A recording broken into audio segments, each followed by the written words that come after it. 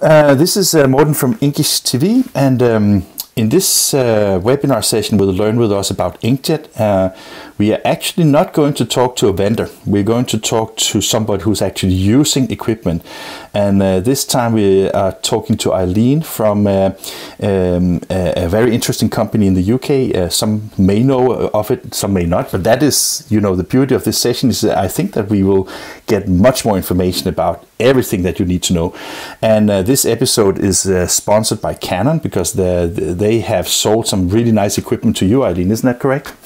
That's absolutely correct. And um, if I just explain a little bit about who I am and what I do. Um, that would be wonderful. yeah, okay. Well, my name's Eileen Morrison, and I'm responsible for trade book sales at Henry Ling. Henry Ling are a long established book printer binder based in Dorchester in Dorset. And they've been long established in the area of academic books and journals for quite some time, starting out with litho printing, then to moving on into digital printing, which has enabled us to produce short run books POD alongside traditional printing and binding, utilizing our litho presses. Um, so it might be quite interesting for people to see things from a salesperson's point of view, if you like, given that I'm talking to publishers on a daily basis so I think this might be quite a good spin on things for Canon and for you. yeah, I'm pretty certain about that, and I, I, actually already like what you said because I mean having uh, uh, uh, the view of also a salesperson is also sometimes does this equipment actually bring value both to you as a salesperson yeah, and to the exactly. customer. So uh, I, I, think that we will we will have a wonderful session here. Um, Henry Ling uh, is that, and I mean because of people who don't know, is that a, a long time well established company in the UK? Yes, it is. Um, they they've been established for um, must be about 140 years now. A family-owned company started out in Dorchester, in the, in the town of Dorchester, and started out in commercial printing, so printing locally um, for um, local business people. Then progressed over the years into litho printing then obviously alongside litho printing needed to invest in bindery equipment. Mm. Over the years, it then um, moved into digital printing. Mm. So very long established. The, the main market has been up until now books and journals for academic and education sector publishers. Um, but we, we now see that we can move into other markets as well, which mm. is where I come in, looking at trade book sales. Mm. Uh, I, I can't help think about that uh, when you when you talk about uh, commercial print. I think that some people at least have a an idea that commercial print is like everything from letterheads, business cards to books to magazines, journals, whatever. But but it seems that you have been focusing quite a lot on on the books, and from here you're extending into new offerings. Is that correctly understood? That, that's right. And commercial printing it is an all-encompassing expression, to be quite honest, and it can. It can cover everything from business cards uh, right through to um, book printing. And I think a lot of book suppliers would still deem themselves as, as commercial printers. Mm. Um, but yeah, so we, we, we did start out in the more commercial type products as, as you would know it, but then progressed into books and journals. Mm-hmm. I, I, couldn't help think about because I mean um, uh, I'm I'm a big fan of books. You can see I have both books oh, and magazines in. My, yeah, good to see. yeah, and I have I you know I'm I'm uh, actually uh, I I once because I traveled a lot tried to to buy a uh, uh, some kind of uh, electronic books and it doesn't work for me to be honest. So well that's that's really good to hear, Morten. and, and I was just thinking that that if you look at uh, at, at uh, the how everything is is uh, progressing in uh, in all markets. I, I, I, was wondering because if you go from a uh, being an established uh, book printer in in a commercial litho offset print space, I take that you come from a from a time of period where it was larger print runs and uh, uh, fewer variables and, and these kind of things. That is that is also what you have experienced in the past, or and, and or.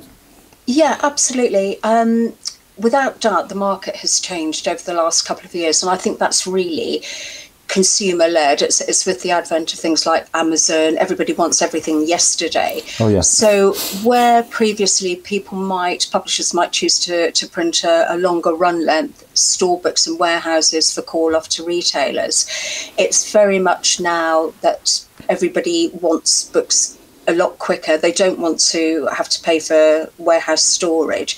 So there's a, a much higher demand for shorter run books. Mm. And definitely I've I've seen myself over the last couple of years that publishers might not necessarily increase their print volumes as such or the the units that they place with the supplier, but they will break that down over smaller orders over the course of a year. Mm. Um, and I think suppliers have had to react to that, which is where we move into the digital mm. area because mm. digital printing is, is actually much better place to, to do that than litho, which is more suited to longer print runs. Yeah.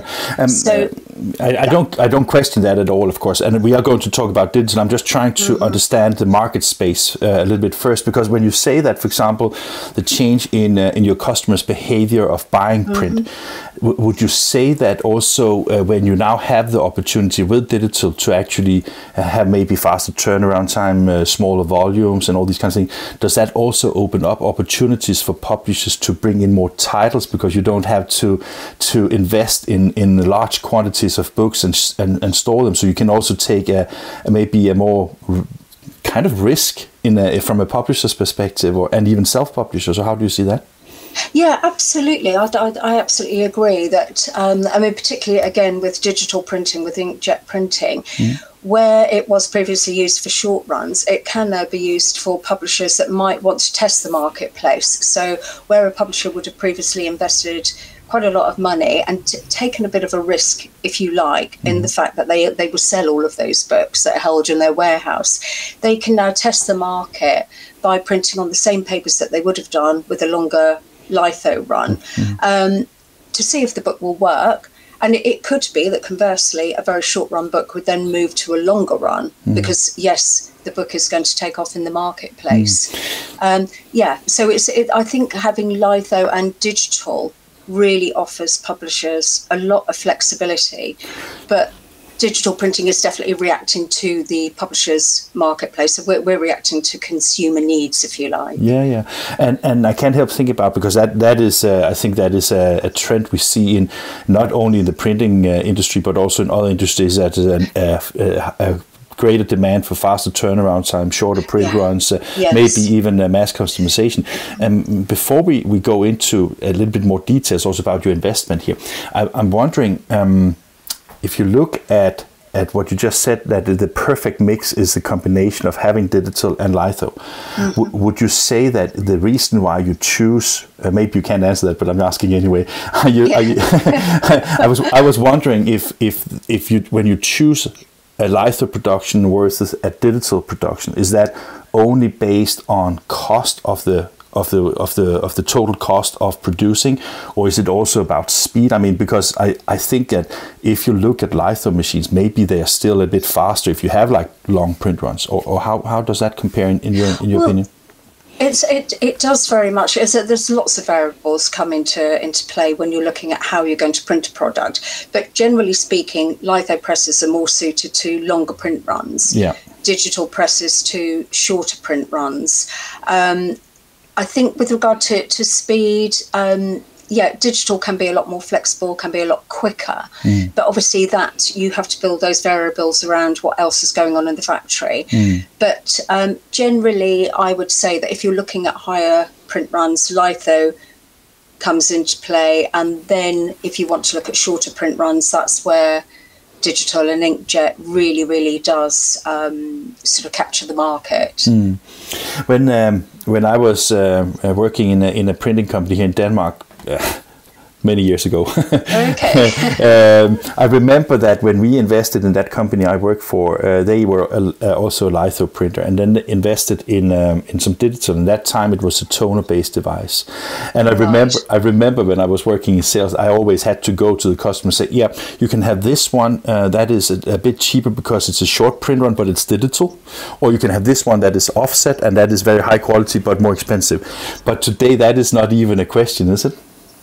It's um, well, again, there's the, there are variables, and it does depend on the actual product. With mm. with litho, the I suppose the benefit with litho is that the higher the print run, the more your unit cost comes down because the main costs are incurred in all the setups. Mm. With digital, quite often the unit cost won't necessarily change a great deal over the the the print life run, yeah. cycle of, Yeah. the, of the print run. Yeah. Um, but because you're not printing so many, it's it's really it's offsetting them both, and Mm. and that's why to to sort of say yes, we would automatically print something litho. It, it a lot of variables come into play. But the the reason I was asking was because I was just you know in the in when you started in the digital print space many years ago, Mm-hmm. there was an obvious quality difference in digital and litho, and Yes. today that is not really the case, is it?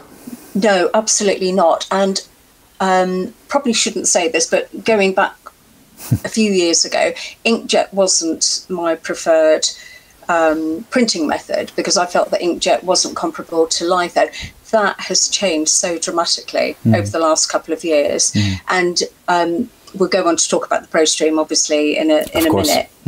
But um, now inkjet quality is very, very um, much on a par with with litho printing, and that was one of the obstacles in the past mm. to, to looking more at the inkjet route mm. was that not only was the quality of printing not quite up to, to the same level as litho, but also the choice of papers Oh, that yeah. had to be treated Yeah. to utilize an inkjet press.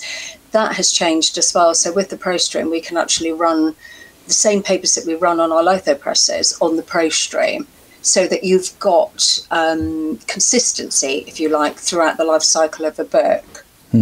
So, um, if I should conclude on what I've heard you say so far, it Yes. sounds like uh, the the market is definitely changing because the demands from both end users and publishers and, and you know general general trends is, Yeah. is in, in change right now. And with the investments you have done, you have um, and with the quality that is now delivered with the equipment you have, you can basically deliver on every measure that uh, your customer Yeah. may, may ask, right? Yeah, absolutely. Um, we had a color, um, a Canon ColorStream was installed. Um, I think it was back in 2013. I might be wrong.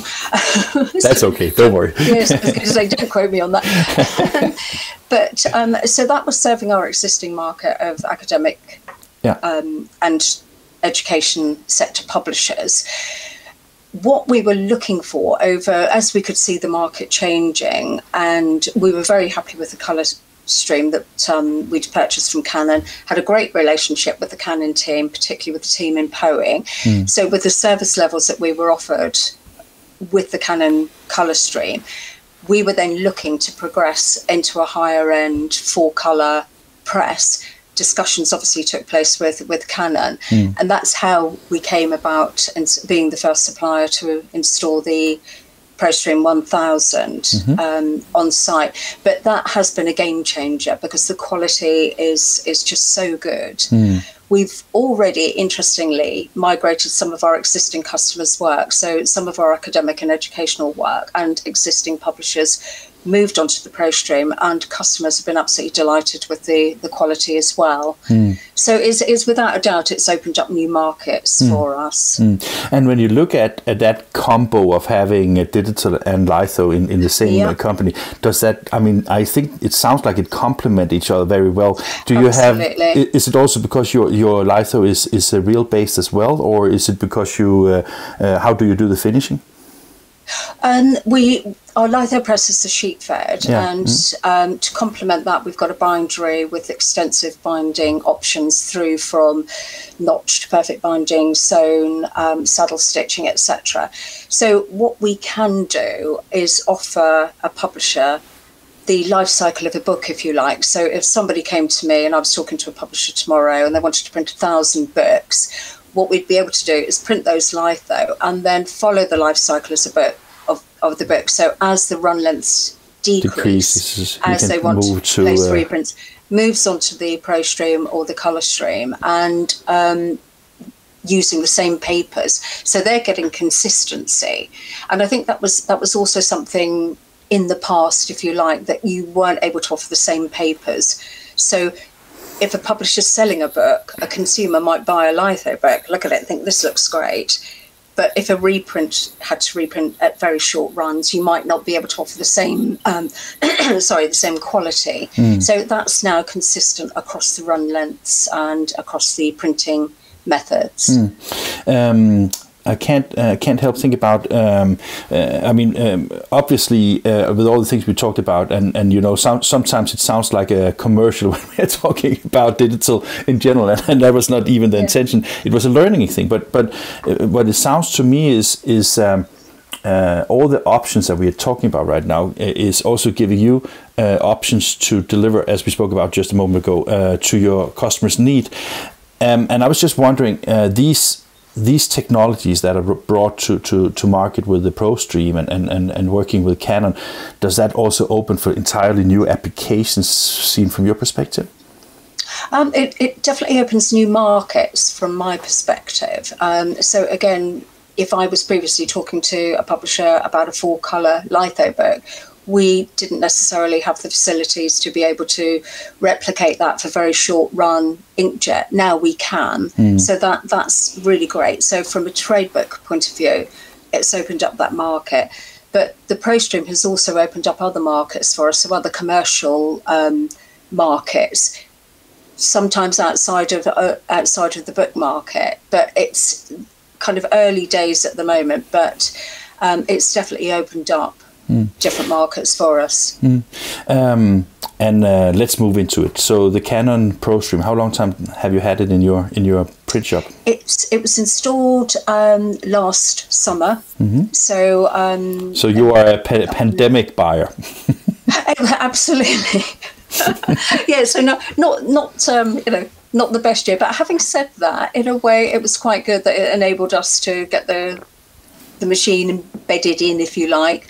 Um, and we were able to migrate, as I mentioned earlier, um, some of our existing customers' work onto it.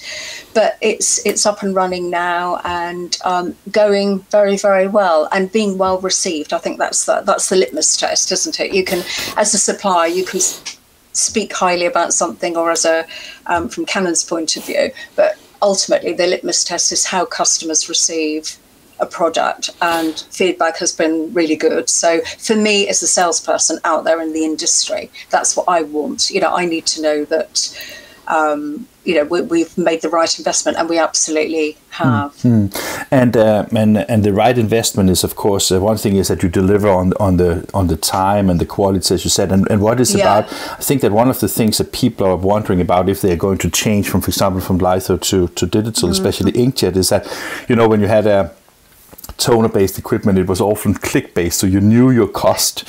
And I think that some yeah. people are a little concerned about inkjet because uh, ink is obviously more expensive than, than yeah. ink on a, on a litho press. And, and you sometimes when you get a print job, you don't know in advance how much uh, page coverage you have. Is that something where you have experienced these kind of uh, yeah, challenges? Yes, absolutely. And uh, the, the other um, beauty, if you like, with the ProStream is that we can quote a, full colour job, for example, and it will always be on sight of files. So when the files are delivered to us, we can then scan the files, and the ProStream has the ability to read those files obviously convert it into dots for the, mm. the ink drops. And if the coverage, it, it, the coverage can actually be altered. Mm-hmm. So you can actually alter the amount of drops. So oh. it can all be done at repro stage. Oh. So that that is why, and I think this is is quite interesting that quite often you can say mm. to publishers, we can quote on full color, mm. but if we have sight of the files, have a look at the ink coverage. It might be that um, doesn't need quite such dense yeah printing. Yeah. So that that can all be addressed at repro stage and at um, at file stage. Mm. So, so that that is another benefit. Yeah. So so from a business perspective, we we set aside that the quality is is uh, on par with the litho or maybe sometimes even better, and then uh, you have the shorter delivery time. And I mean, uh, what about the business side of it? I mean, because one thing is that you can you can adjust things, for example, on the cost of the of the ink when you are in in the prepress uh, side of it, but you know, it's it's also when the day is over, is it is it worthwhile investing in? Uh, can you charge more for shorter print runs, or is it just something that where you can save cost, or, or how is that? Um, well, I, I think you, you again you do have to offset that with with litho as i said the the longer the print run the more the unit cost comes down mm. you are still looking at click charges with mm. with the ProStream but definitely in discussion with with publishers you can look at the pricing and i think one of the main areas is if you're quoting for color, it is really looking at the ink coverage. Yeah. So there are ways, if for instance I quoted something tomorrow based on extensive four color ink coverage, then the files came in and we deemed actually we can reduce that ink coverage. Costs can be adjusted accordingly. Mm. But, uh, um, but, but it's, it's, not hugely black and white. No, no, um, no. It's it's kind of cheaper to print digital or cheaper to print litho. It's mm. it's there are so many variables. Mm. But I was uh, sorry to interrupt me, Eileen. It was mm. more because I was thinking that you know, uh, and and may, maybe it's because it's uh, it's uh, less of your interest than because you are in sales. But I was thinking that you know, uh, I was I would assume that if let's say let's let's say that a litho book in thousand copies cost you three pounds, right? Just as an yeah. example. Yeah. Uh, you could probably argue that if you buy 500, it would be four pounds per piece, and you could probably argue that if you can send them one off, then it might be eight pounds or whatever, right? And I was just wondering if that is also a business opportunity because I mean, with, with, if if the publishers save on storage and they have more options of getting things delivered on demand, maybe the entire uh, value chain and, and how the monetization of a process is changed. And I was just wondering if that's something that you experience when you work with sales. Yes, absolutely. And, and I think, again, with digital, sometimes it can, the unit cost can be higher per mm. book. Mm. But again, so many variables come into it for the, the publisher as well that they need to to look and understand that they they print on demand, if you like. They're, they're printing yeah. the books they need. They're yeah. not printing 2,000 books and they might only sell a thousand. Yeah. Um, so that it very much does all is all part and parcel of the decision and it's it's the decision that the publisher needs to make as well that they might look and think actually i can only afford this unit cost for this book. We can offset our warehousing costs. But if they want to minimize warehousing costs then definitely digital would be the, the route to go down. Shorter print runs you might have a, a higher outlay for the books but then you offset that against uh, your cost savings elsewhere. Mm. So it's it's all. Um, I think with, with, with printing, and I think particularly in sales, it's it's all very much part of a much bigger picture. Yeah. It's talking to the publisher, understanding their needs, talking internally, um, so that we can actually come up with the best solution for the publisher as well. Mm. We but, we don't just decide to um, kind of make a decision for them. No, but doesn't that also require changes in how you sell? I mean, because I mean, if you have a sales of two thousand books, you can quote one on one basis. But sometimes, if you have a you know a relationship with a publisher where sometimes they order 50 sometimes they order one sometimes they order 10,000 i mean uh, the selling process does that change when you also have these opportunities in your company to to a degree it does but um, a publisher will know very much what they think will sell. We, we can point them in the direction if you're in discussion or in dialogue with the publisher who isn't sure about a particular book, whether whether they should run a thousand. What we can now offer is to take that risk away from them and mm. and run a shorter run length. So it's it's a little kind of a little bit um, round the other way, rather than going from litho down to short run, go with the short run to start with, hmm. test mm. the market, mm. then they're not outlaying um, a lot of costs for books they might not sell. Yeah. But it's it's all very much in discussion with publishers um, and dis- discussing each individual book with them. Mm. Sounds great. And um, can't help think about again that uh, that uh, it's a, it's a fantastic time to live in. I mean, uh, uh as you said, as you said just a few years ago, uh, uh, inkjet was not really an option to replace litho, and and and and toner based equipment was maybe too expensive, too slow. Now we we are in in some kind of a paradigm shift right now, where it's actually something that can be utilized and and to some extent replace litho. Where where do you think it will head in the future? I a very interesting one actually because uh, I think the jury's still out on that, but I I think with the huge technical advances that um, inkjet printers have made or inkjet suppliers have made, possibly it could do, go down the route of um, inkjet, and I, I think it's also again it's consumer led and it's publisher led or customer customer led that I think where everybody was used to, to litho in the past and litho quality, that is changing. And I think that perception, as I said, it was my perception as well mm. a couple of years ago. Mine too. Um, um, uh, no, absolutely. Yeah. And I, I, think if, you, if you've worked in the industry for a while and you've always worked with litho, and particularly on the sales side, there, there, was always that, oh, I don't know about inkjet, but it's just so amazing. And I think the quality now is just so good mm. that I can see a point where that's actually going to become the um, the preferred method of printing. Mm.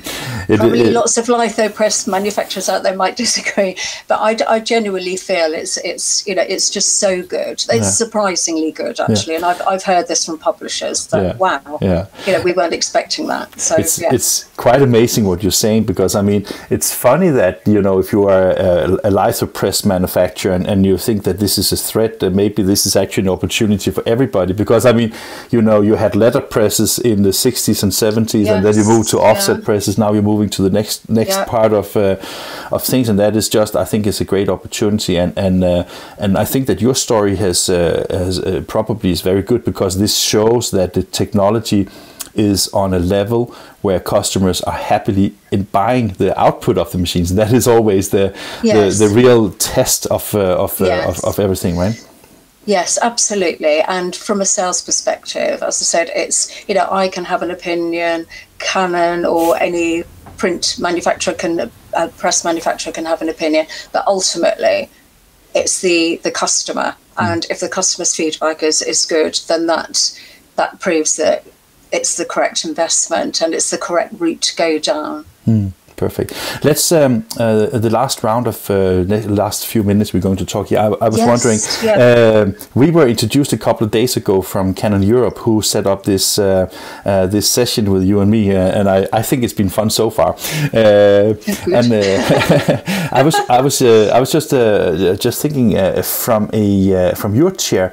Um, um, how has uh, has also uh, a Canon given you inspiration and, and information that that you know benefits you in, in sales or is that more that like the management and production that handle these kind of things in the, in, the, in relationships no, they they have been incredibly supportive, mm. and I think, um, and again, the team in Poing and in the UK have been very supportive. Mm with regard to giving me information when I need it, mm. um, and that they've you know they, they have got a great team there. But it's um, yeah, I think it's it's an ongoing process. So the mm. relationship is ongoing, mm. but they've um, yeah they, they have been incredibly helpful mm. to, to me mm. the reason why i'm asking is because what i always like when you know there was once one, once upon a time there was something called trade shows we, we all remember those days.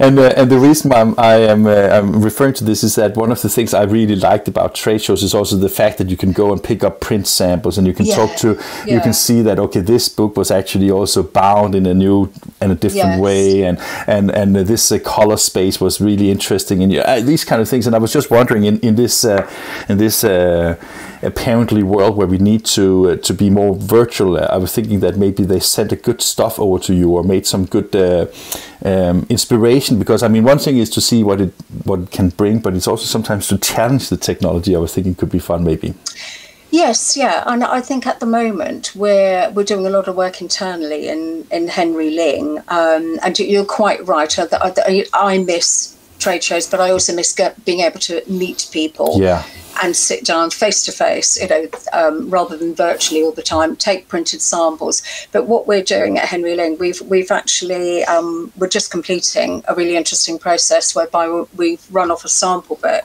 oh. that shows the three technologies that we, we currently have. So same Fantastic. images, yeah, yeah. litho printed, printed on the ProStream, and um, we we do have a an HP Indigo. Mm-hmm. And it's really for publishers to look mm. at the same images. And I think particularly they're interested in seeing litho compared to, to ProStream. Mm. And this is where we're, we're getting that great feedback. Mm. Canon have also been very good and very instrumental and supportive in, in supplying us with samples oh, as well. Nice. Yeah, yeah. So for me, it's it's it's um, where I would normally sit down with somebody. It's sending them information. Yeah. Um, but but with regard to challenging us at the moment, we're, we're very much printing books. Of course. It, we will definitely move into other markets as the opportunities arise. Mm. Um, but uh, yeah, so it's, it, it is very exciting times. Still kind of early days for the ProStream at Henry Ling, but mm. um, yeah, very,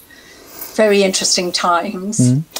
Um, Eileen, uh, it's been a pleasure talking to you here in this session here. It's and, great uh, to talk to you, Morten. I hope I hope you enjoyed. I mean, uh, uh I think that uh, this is one of the few uh, pre-recorded sessions we're doing here at Learn with Us, but it also has its advantages because we are. I'm not as stressed as I would probably be if I was doing everything live, and maybe you you as well, right? well, sitting here in my little office and just just pleased that my cat didn't come in and interrupt us. But I think that in uh, in about 100 interviews I've done online since the pandemic, I can't remember almost a single episode where we have not been disturbed by some kind of animal. so, uh, right, okay, well. so uh, definitely you stand he was, out. He was he was instructed to, to stay where he was. Fantastic. but no, it's been great to talk to you, Morten. Likewise, and I, I wish you the best with the, the investment, of course. And uh, yes, thank I you hope, very much. Yeah, and I hope you will soon be back to normal times where we can, you know, uh, meet people and, and show them the real yes. books and and uh, get the advantages of all this, uh, uh, what everything is about, basically human interaction, yeah. right? Absolutely, mm. and, and the same with you. Thank you.